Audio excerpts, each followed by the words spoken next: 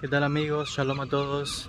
Me encuentro ahora mismo en Holanda, en los Países Bajos. Me encuentro visitando la ciudad de La Haya, la capital administrativa de Holanda, un lugar muy importante y he venido justo en este instante, estoy de pie frente a un monumento dedicado al recuerdo de los judíos que en algún momento de la historia, debido a la persecución de los nazis, fueron tristemente masacrados, asesinados por los nazis. Y como ven, aquí hay un monumento, pueden ver el Maguen David. Y hay una placa que vamos a verla, ¿eh?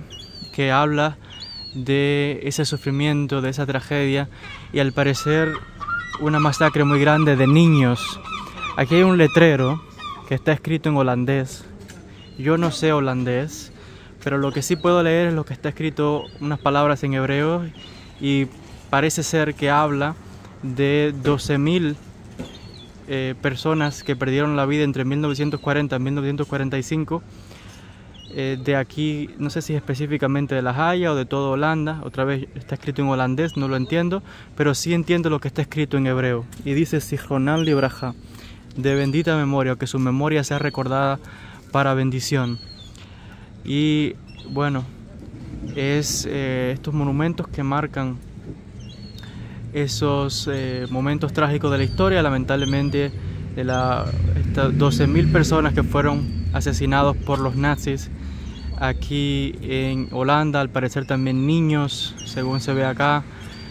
Hay otro cartel, pueden ver que aquí está el monumento con el Maguen David y se puede ver ¿no? una imagen muy, muy triste donde se parece que está ahí como una la madre, el hombre con su niño, sea una pareja alguien que está también como, como caído, el niño abrazado de la pierna de su padre y el padre que hay, dolor, ver en el rostro, el rostro de ella, de mucha tristeza, mucho dolor.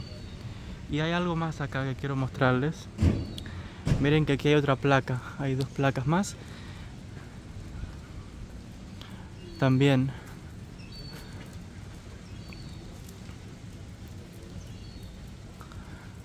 Ahí está escrito en alemán, perdón, en holandés.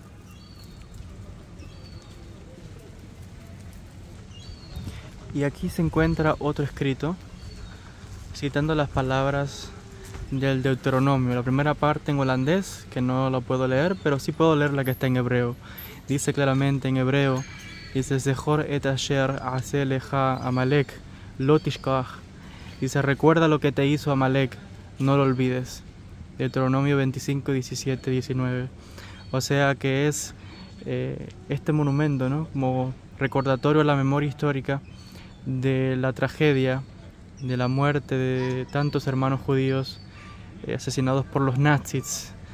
Así que aquí se hace referencia a Malek, el mal absoluto que causó daño tremendo, no solamente a la comunidad judía, también a millones de personas de diferentes razas, culturas, nacionalidades que fueron eh, muertos por los nazis. Pero bueno, específicamente este es un monumento a, eh, ese, a esos hermanos judíos que perdieron la vida. Estamos también además en, este es el exterior, como pueden ver, les voy a mostrar, en, de otro monumento donde está enterrado un judío muy importante y es Baruch Espinosa el gran judío sefaradí. Como pueden ver en el interior hay una iglesia y hay un pequeño parque ahí donde vamos a entrar ahora a visitar la tumba de Espinosa. Pero en el exterior se encuentra este monumento a las víctimas judías de la época de los nazis, la época del holocausto.